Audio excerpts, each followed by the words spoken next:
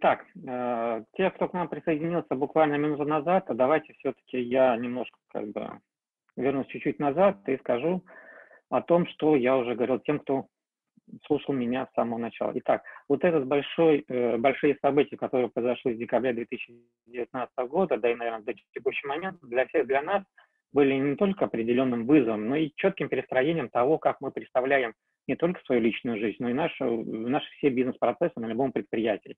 И заставили оперативно в очень э, короткие сроки принимать какие-то решения, что-то изменять. И э, научили, ну, для меня, по крайней мере, да, пришло понимание окончательное и бесповоротное, что вот эти подобные кризисы не могут произойти опять снова. Это раз. Во-вторых, соответственно, работа удаленная – это все-таки работа, а не какое-то там безделие за экраном компьютера или за экраном телевизора за просмотром любого сериала. Ну и самое главное, и самое, наверное, неприятное для меня, все-таки я понял, что человек является как раз и слабым звеном э, пищевой цепочки эволюции. Ну, к сожалению, он не царь зверей, и вы можете представить, что если какой-нибудь сотрудник, ключевой, не ключевой, у вас на производстве заболел ковидом, он является уже потенциальной угрозой для вас в первую очередь, и самое главное, для не с точки зрения даже э, физиологического, там вы заболеете, попадете куда-нибудь там под какое-нибудь медицинское э, учреждение, либо что-то еще, а самое главное, что ваш бизнес от этого человека очень сильно зависит. Если вы занимаетесь отгрузками, и у вас э, ваши складские сотрудники стали заболевать пачками, штабелями друг за дружкой, вы не сможете отгружать своим клиентам груз и не сможете отгружать продукцию. Ваш бизнес начнет останавливаться, вы начнете не получать прибыль, ну и это приведет к тому, что ваше предприятие, на котором вы любите, на котором вы работаете, многие работают по много-много лет, просто-напросто обанкруется. И вы можете остаться без э, зарплаты, крошки хлеба и без любимой работы. Поэтому чтобы этого избежать, а, мы считали, считаем и будем считать, что первоочередная задача любого предприятия, а в особенности сейчас на, в данных рамках, это начинание модернизации своего производства, модернизация своих бизнес-процессов. Где-то это будет полная модернизация, где-то будет частичная модернизация, где-то будет кусочная модернизация – у разного предприятия существуют разные бизнес-процессы, их можно по-разному а, модернизировать. Ну, например, мы достаточно давно всем предлагаем информационные киоски. Казалось бы, такая, ну, как бы уже набившая оскобленную тема, как информационные киоски, мы все их видели, знаем. Некая металлическая железная конструкция, похожая на банкомат, с какими-то клавиатурами, что она может, как она может модернизировать наше производство, как она может помочь э, увеличить производительность нашего предприятия, либо избежать остановки нашего нашего производства в пандемию, например, да, казалось бы. А давайте посмотрим на пару простых сценариев, которые, в которых могут использоваться данные информационные киоски. Ну, самый простой, самый очевидный.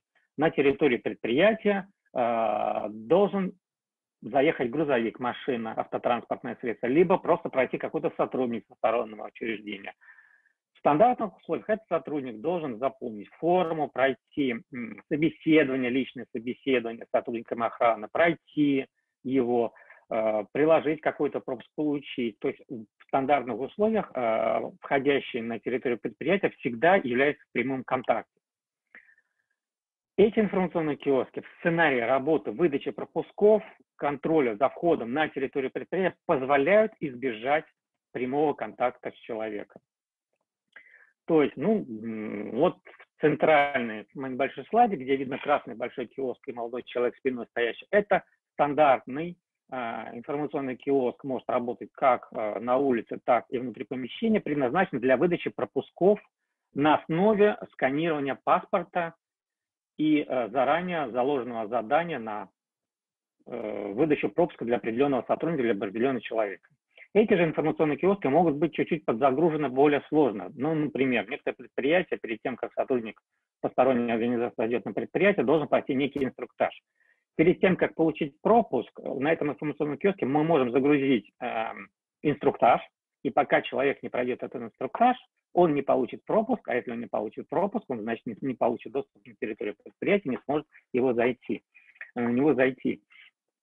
Ну, это как бы а, один из сценариев а, применения. Второй сценарий применения а, например, выдача документов с бухгалтерии. Да, сотрудник вашего предприятия захотел каким-то образом получить выписку по зарплате, ну, а в условиях сложной загруженности он должен куда-то пойти, где-то отстоять очередь, что-то, какой-то документ написать, теряется время, отвлекаются сотрудники. С использованием информационного киоска с определенным сценарием его работы, любой сотрудник, например, в обеденный перерыв захотел получить выписку по зарплате либо НДФЛ, приходит, делает запрос, использует свой пропуск в качестве электронной подписи, запрашивает данный документ, и этот документ он может получить либо, в зависимости от э, алгоритма работы предприятия, у секретаря, либо же э, данный информационный киоск может распечатать этот документ прямо тут же сотрудник.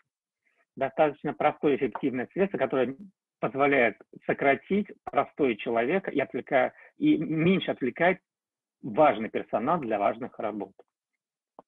Если мы дальше информационные киоски а, совмещаем с неким скут-системой, тогда мы можем уже не только а, пропускать на территорию и не только выдавать пропуска на территорию, но и пропускать автотранспорт э, на территорию, например, да, либо контролировать проезд сотрудников на своем личном транспорте, тем самым упрощая работу сотрудников охраны, которые занимаются пропуском данного, данных видов транспорта. Э, подобные информационные киоски используются у нас э, на электронной очереди в системе ЯР.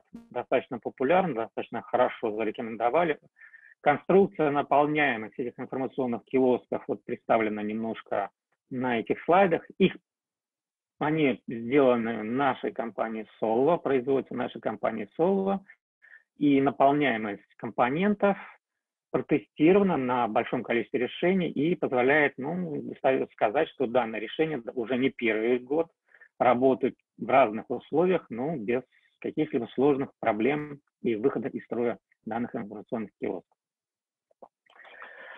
Это вот то, что касается информационных киосков. Казалось бы, небольшая вещь, но она очень четко э, позволяет небольшой кусочек бизнес-процессов модернизировать, сменить и э, там, где возможно, убрать лишнее слабое звено, такое как человек. Если мы пойдем немножко дальше и оттолкнемся от того, что все-таки на, э, мы хотим больше убрать человека от использования производства, тогда нам нужно обратиться уже более сложным решением и попробовать э, поработать с так называемыми коллаборативными роботами. Э, это чем обычный робот отличается от коллаборационного робота?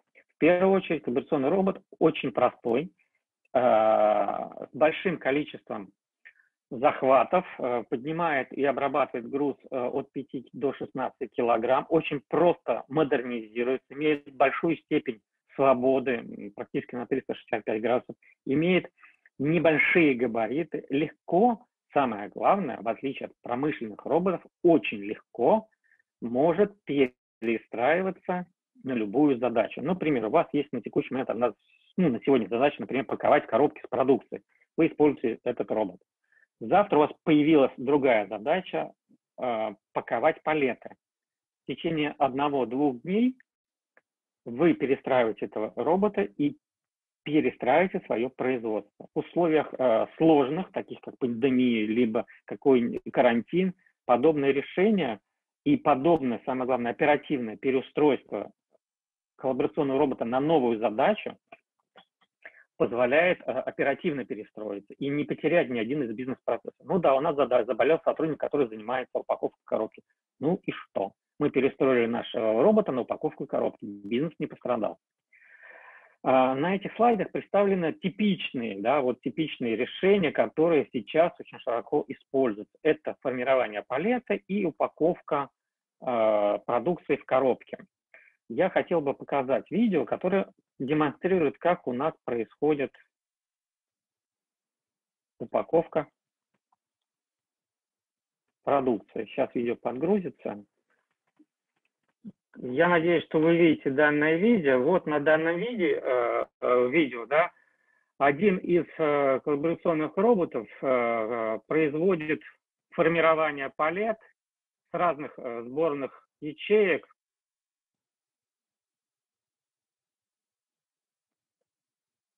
в разное направление.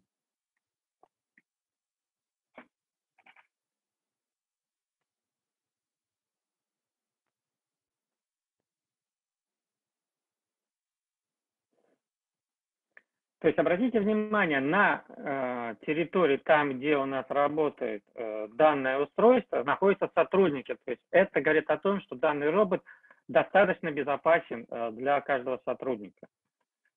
Если мы эти коллаборационные роботы, например, дооснащаем э, э, сканером штрих-кода, мы можем э, при заборе партии товара и формировании палет автоматически сканировать всю упаковку, упаковку каждой продукции, после формирования палетки формировать, э, соответственно, э, палету, сканировать палету и передавать всю эту информацию в э, ВМС-систему и дальше отправлять в нашу главную систему. То есть практически мы можем сократить и убыстрить наш бизнес-процесс, связанный с отгрузкой товара и упаковкой ее в палеты.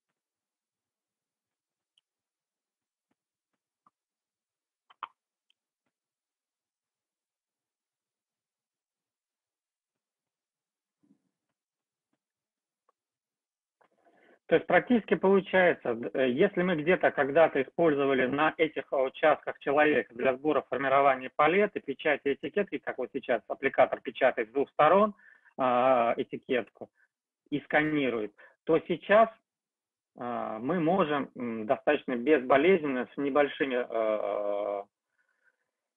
перестроением небольшого бизнеса поменять свой бизнес-процесс и запустить запустить новый, ну, как бы для себя новый бизнес-процесс без участия человека.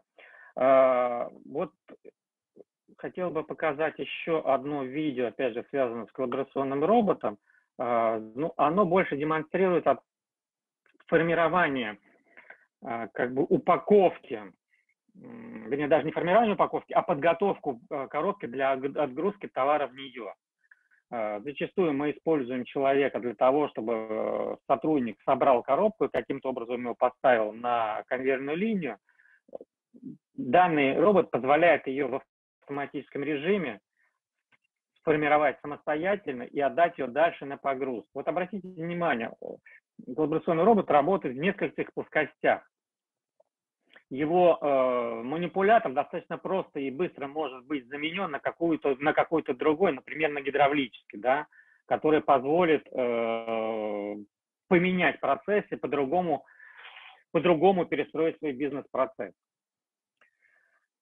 Поэтому старайтесь думать о том, как проще перестроить ваш процесс – и постарайтесь подумать о том, где, в каких э, точках вы можете заменить человека и внедрить вот этих коллаборационных роботов. А сейчас я хотел бы вернуться дальше к нашей теме, э, к нашей презентации и двинуться дальше. Теперь бы я хотел бы поговорить об очень, я уже тут вскользь затронул о том, что мы пропускаем на территории предприятия сотрудников, вынуждены выдавать а, пропуска но текущая ситуация принесла новый как бы, способ пропуска на территории наших сотрудников. Если раньше мы а, наших сотрудников, пропуск, вернее, даже не сотрудников, а транспорт с сотрудниками пропускали с использованием ну, э, систем видеораспознавания номеров контейнерных терминалов, либо с использованием RFID, то теперь э, у нас появились новые запросы, новые тенденции, особенно связанные с э, COVID-19, то, что каждый сотрудник при входе на территорию предприятия должен быть отконтролирован с точки зрения температуры. А, большинство из вас, а, наверное, уже проходили эту процедуру, и у вас есть в офисе инфракрасные устройства, которые позволяют э, мерить либо самостоятельно сотрудника температуру, либо же э, представитель охраны, либо представитель пропускной системы меряют сотрудника температуру, записывает ее в какой-то журнал, и по самому, самому факту измерение этой температуры является без ну, без как бы лицевой, то есть, да, как бы сотрудник кому-то человеку померил температуру, в какой-то журнал куда-то записал, у нас нет цепочки продвижения, кто это зашел на предприятие, какая температура, нет лога э, прохода сотрудника на территорию, какой был на температуру. И на текущий момент появились устройства, которые позволяют дистанционно вести всю базу данных при проверке э, температуры сотрудника. Это вот на картинке справа вы видите э, радиотерминал, очень похожий на смартфон, который оснащен э, сканером 1-2 штрих-кода, что позволяет читать стандартные э, штрих-кода и обычные, то есть сотрудник предъявляет свой пропуск, э, сотрудник охраны его сканирует, после этого проводит э, инфракрасным Э, темпер... Э, термометром, который расположен в торце этого устройства, замер температуры, передает эту э, информацию в информационную систему, таким образом производит некое логирование системы, и э, мы можем видеть в динамике, какой сотрудник с какой температурой пришел, можно ли ему прийти на производство с этой температурой, и если у него температура повышена либо понижена, мы автоматически это видим и можем просигнализировать и выдать информацию, например, там, медицинский кабинет, чтобы к нам сюда пришла медсестра и уже руками померила температуру, может быть, сразу же госпитализировать этого сотрудника, чтобы он не заражал весь наш персонал, а как-то вот его дистанционизировать и передать в руки наших славных медиков. А, попробую еще раз видео, а, которое показывает реальную работу чем интересно это устройство? То, что оно одновременно имеет и считыватель RFID, да, и э, имеет считыватель НФС. То есть, если у вас есть пропуск, э, Мишаровский, например, вы можете приложить ваш пропуск и э, померить температуру сотруднику, сразу автоматически привязав его э, к информационной системе. Вот таким вот образом может быть осуществлен контроль температуры сотрудников на предприятии.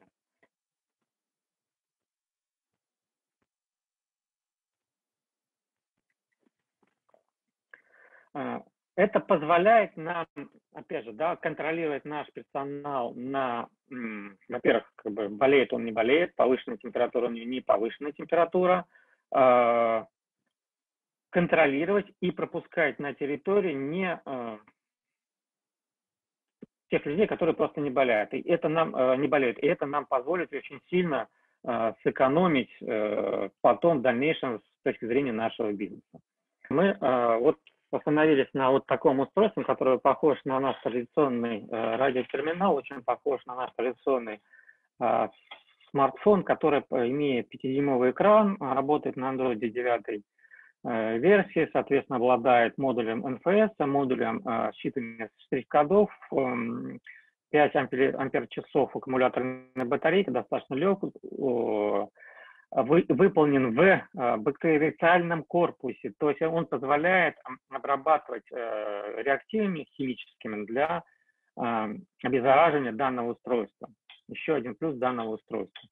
Но это устройство мы можем использовать тогда, когда у нас есть сотрудник и контролирует человек. Да? А если мы хотим избежать человеческого фактора, тогда мы а, должны перейти вот на такое устройство, которое по своей сути является гибридным и представляет из себя планшет 7-дюймовый, э, опять же, на операционной системе Android. Э, но самое важное э, вещь этого устройства – это то, что имеет интерфейс вегановский и интерфейс 485. А, что это такое? Эти два интерфейса позволяют подключиться к любому скуду и управлять, а, соответственно, входом на территорию предприятия без учета человека. То есть человек, подходя к этому а, устройству, меряет свою температуру. Если температура у человека нормальная, соответственно, ворота, двери, либо шлагбаум открывается, пропускает сотрудника на территорию, это устройство может работать в режиме офлайн, то есть она может быть не подключена к никакой как бы, не иметь, э, информ... ну, не иметь взаимодействия с существующей SQL-системой, до 10 тысяч э, записей она э, по сотрудникам она хранит у себя на жестком диске и позволяет в автоматическом режиме э, настроить его для пропуска персонала на территорию. А, примерно оно располагается вот таким вот образом на стандартных, на стандартных воротах. Когда сотрудник проходит, температура меряется, и, соответственно, ворота открываются, сотрудник проходит. Если же по каким-то причинам температура отличается от заданных параметров, он, к сожалению, не сможет пройти на территорию предприятия. Данное устройство очень быстро можно внедрить в предприятие. Стоимость не такая дорогая, сопоставима со стоимостью любого радиотерминала промышленного – и, и достаточно оперативно вы можете модернизировать. И если ваш сотрудник охраны заболел, вместо него поставить такие вот гибридные устройства и пропускать сотрудника на территорию. Это все, что я хотел вам рассказать о контроле доступа. А, теперь же я хотел бы немножко поговорить с точки зрения удаленного мониторинга и удаленной работы сотрудников. Или даже наоборот, по-другому как удаленный э, мониторинг и удаленная работа сотрудников позволяет нам двинуться на более другой уровень э, в управлении наших складов и помощи нашим сотрудникам, которые занимаются работой на складе, собирают товар, изменить и упростить их работу. Э, для меня, вот я достаточно с детства интересуюсь для себя как любителя всякими новостями, которые присылаются с НАСА, было очень интересно послушать, как компания НАСА перевела всех своих сотрудников на удаленную работу. И самое очевидное, самое интересное оказалось то, что э, Центр управления управлением марсоходом э, перенесли, все сотрудники перенесли себе на рабочее место и спокойно управляли. И вот эти как бы текущие тенденции, текущие технологии дают нам возможность э, ну, как бы сказать, не только оперативно решать любую возникшую проблему, но и помогать а, нашим сотрудникам, даже те, которые не обладают богатым э, техническим запасом, решить ту либо другую проблему. Компания TeamViewer, наверное, вы ее знаете, совместно с компанией UBMAX э, создала решение э, TeamViewer Pilot, которое позволяет, используя либо очки дополнительной реальности, либо обычный смартфон сотруднику, который обнаружил какую-то неисправность, э, связаться с центром технической поддержки, находящийся удаленно, и решить эту проблему, и сотрудник удаленной техподдержки, используя сотрудника по месту, который ничего не знает, показывая, что нужно сделать на экране, а, выполняет ту либо другую операцию. Ну вот типичная ситуация, когда каждый сотрудник занимается своей работой, и по каким-то причинам он не может выполнить э, свою текущую работу. В обычных условиях э, э, решение бы этой проблемы заняло достаточно большой промежуток времени. Нужно было бы позвонить сотруднику техподдержки, э, дождаться его вызова. Здесь же все происходит немножко по-другому.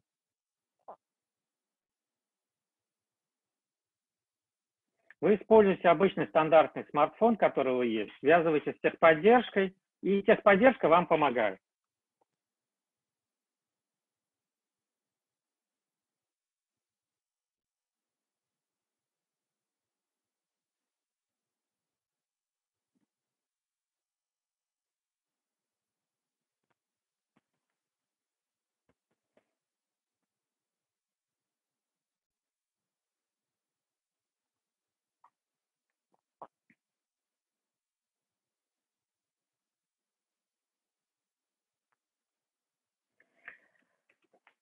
Что дает нам это э, технологическое решение? То есть оно позволяет нам оперативно устранить те неисправности, которые у нас есть, э, без вызова на территорию э, сотрудника техподдержки. Вот представьте, например, у вас какое-то куплено дорогостоящее устройство, например, штабелер либо погрузчик, да, а техническая поддержка находится, ну, там, допустим, вы находитесь там в Владивостоке, техническая поддержка в Москве. И для того, чтобы ваш погрузчик либо вашу сложную конвейерную линию починить, соответственно, техническая поддержка должна приехать, отремонтировать и сделать. Здесь же все вы можете сделать, используя руки вашего сотрудника. И вот эта коллаборация между э, технологическими решениями и сотрудниками приводит к тому, что м, мы можем э, переложить эти решения на наши складские операции, то есть использовать э, очки виртуальной реальности, дополнить с какими-то э, дополнительным функционалом и использовать уже Peak by Vision вместо стандартных э, радиотерминалов для того, чтобы э, для того, чтобы выполнять свои стандартные операции. Э, на текущий момент э, большое количество компаний, которые пытаются с тем либо с другим долю успеха войти на этот рынок, но мне кажется, вот у компании Zebra в этом году появилось действительно реально интересное решение, которое всем нам поможет использовать очки дополнительной виртуальной реальности для работы на складе. Чем оно отличается от других решений? Это носимый дисплей. Он не обладает ни Wi-Fi, ни аккумуляторной батарейки эти очки. У него только стандартная оправа очков, линза, телефонная гарнитура, по которой можно разговаривать, Работают они, соответственно, э, в условиях от минус 4 по Фаренгейту, либо от э, минус 20 до 50 по стандартному по Цельсию, имеют IP65, а, одеваются и подключаются проводом к носимому терминалу, тот, который, например, расположен на руке VT6000. Все операции, все действия делает именно, производится именно на данном радиотерминале. Да? Совокупность радиотерминала носимого на руке, и этих очков позволяет эффективно работать сотруднику. А, как это происходит в реальном режиме времени? Сейчас я попытаюсь загрузить еще одно наше видео и показать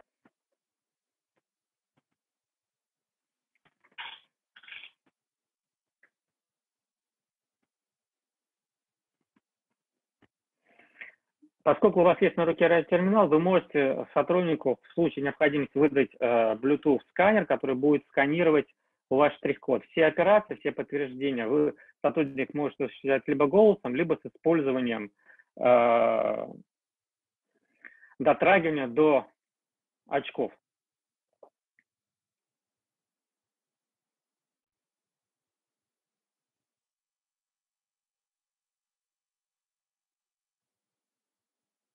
То есть на экране у сотрудника будет отображаться, можно использовать любое устройство. Например, можно взять планшет, положить его в сторону и, э, или положить определенную сумку и связываться и работать.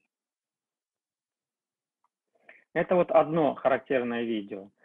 Э, сейчас я загружу еще одно видео, которое поможет нам понять, как мы можем еще использовать э, данные очки уже с привязкой именно к продукции компании Zebra и с привязкой к оборудованию компании Zebra.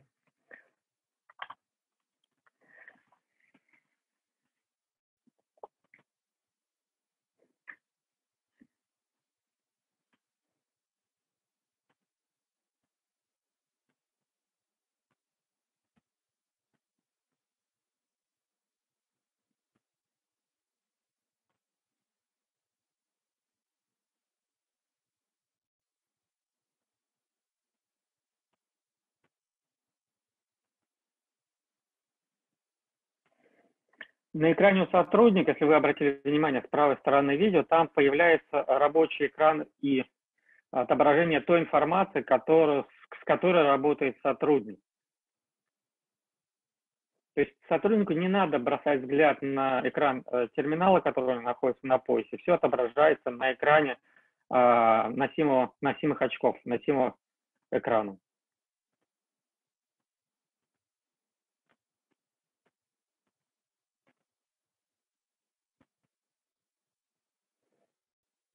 И используйте э, носимые дисплеи в совокупности с, с определенным программным обеспечением, либо разработав свой собственный сценарий, мы можем накладывать для сотрудников дополнительную работу, подсказывать, что нужно в каком, э, какой ячейке взять груз, и при этом ту или другую ячейку подсечь, чтобы сотрудник просто не ошибся э, и не приехал и не взял что-то другое.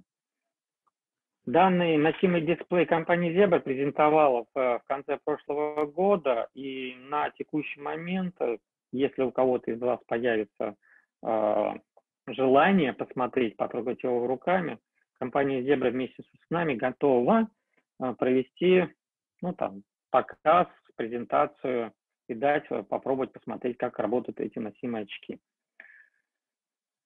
А, в принципе, все. Спасибо вам за внимание.